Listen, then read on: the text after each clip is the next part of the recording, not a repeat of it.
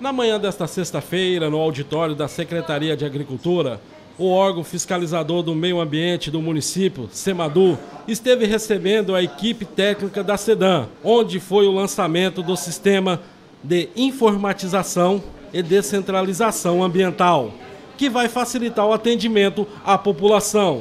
Márcia Alves, assessora de centralização da SEDAM, explica como vai ser o atendimento através do sistema. Como ele vai ser totalmente online, não, sem necessidade de papel, né? ele vai dar também celeridade em todos os processos de licenciamento né?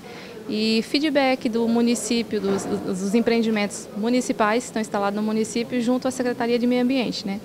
E as vantagens desse sistema, e um que eu já te falei que é a respeito de não utilizar o papel, né?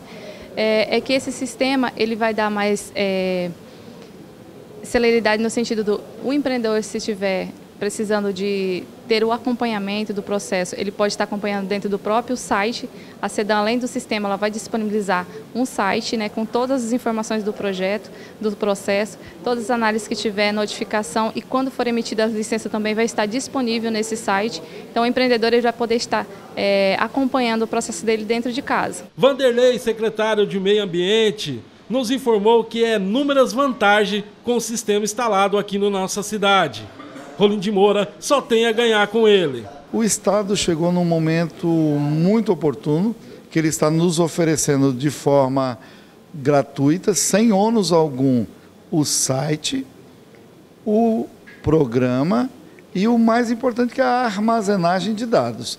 Então, assim, nós temos buscado caminhar em harmonia com a Secretaria de, Meio, de Desenvolvimento e Meio Ambiente do Estado, a SEDAM, e dessa parceria, dessa harmonia, foi que vieram para cá duas técnicas, junto com o secretário de Estado, para nos ajudar na harmonização da legislação, facilitando o que? A geração de emprego, a implantação de empresas no nosso município.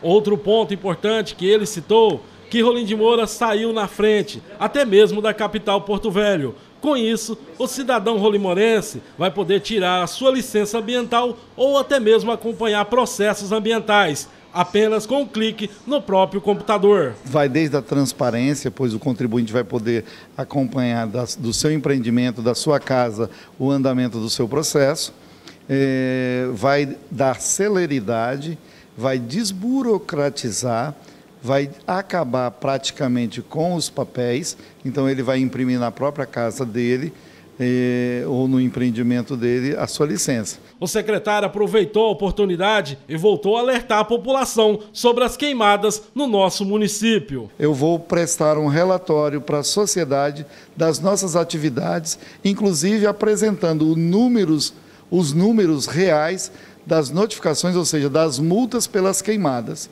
Realmente, aquilo que a gente ouviu em outros anos, ah, não, eles prometem, mas não cumprem, não vai acontecer. Eu vou prestar conta para a sociedade dizendo: durante essa seca foram multadas tantas pessoas por queimadas indevidas. Então, assim, eu peço a você, lembre do seu vizinho, lembra do idoso, lembra da criança, lembra do sistema de saúde que está abarrotado. Não faça queimada, não gere mais doença para você e para o seu vizinho.